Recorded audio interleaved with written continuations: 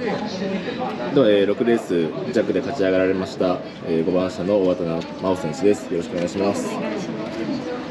えー、本日あの 2, だ2番手から始まりましたけども、作戦はどういう作戦だったでしょうか？やっぱり自分たちのレースは自力が強い先輩たちとか多かったんで、まあ、前々で自分も自力出せるレースができるように走りました。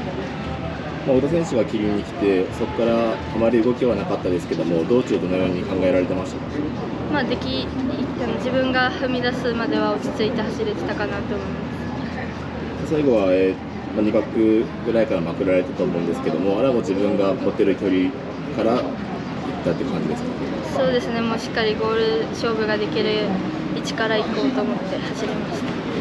最後、ギリギリでかわあの沢口選手にかわされてしまいましたけども、ご自身、感覚はどうですか、まあ、全然悪くはないと思うんで、まあ、しっかり明日に向けて頑張りたいでは、最後、準決勝に向けて意気込みをよろしくお願いします。まあ、準決勝も勝ち上がって、決勝に乗れるようにしっかり頑張ります。